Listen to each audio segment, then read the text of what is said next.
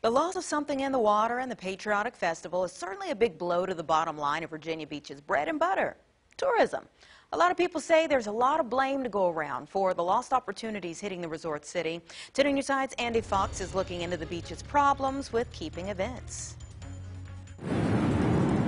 I think you know there's, there's a strong sense of despair on Atlantic Avenue. Since 1947, Richard Maddox's family has done business on Atlantic Avenue. There's nobody at the helm.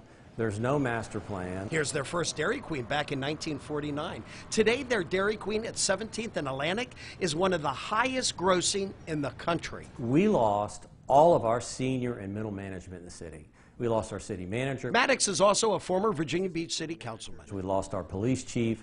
We lost our zoning administrator. We lost our convention visitor devel- uh, developer. Maddox isn't happy and he has a lot to say about lost events. He thinks Virginia Beach's biggest problem staff departures, taking memory and history which has created a toxic bureaucracy. The culture of, of, of getting things done, the culture of developing and evolving a product that people want, um, has gone uh, has gone on the wayside. Maddox knows that culture shift was one of the reasons why the Patriotic Festival hit the road to Norfolk. We used to be the city that had a mentality of of reaching out to events like this and facilitating them and saying, what is it you need to make it happen? To Maddox's point, we've seen text messages where festival organizer Ira Agricola expresses that frustration. The special event permit process in Virginia Beach involves all the departments. Virginia Beach became too bureaucratic, difficult, a city of no instead of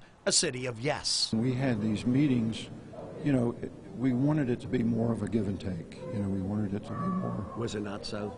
A lot of times it wasn't. Is something in the water dead in the water?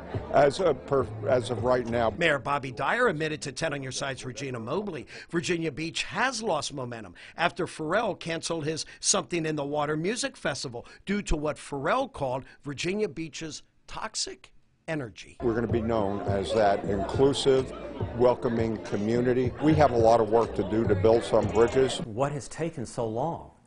Uh, uh, I mean, we have had these discussions for two or three or four years now, and I mean, again, deeds, not words. Whatever negative perceptions that are going to be out there, we're going to overcome, and we're not only going to survive, we're going to thrive. Clearly, we do not have that national reputation right now, and I don't see anything aggressively happening to change that. This should give us a chance to really reassess our whole program. Well, here's something aggressive, positive. As the city of Norfolk was signing the new agreement with a patriotic festival, newly appointed Virginia Beach Councilman Linwood Branch was there at the signing looking for event options to complement the amazing success at the Virginia Beach Sports Center. Well, we have some holes to fill now, uh, obviously, uh, the events that have left, and so our event contractors are here today, and we'll be talking with them about what we can do to, to fill that in. I'm Andy Fox, 10 on your side.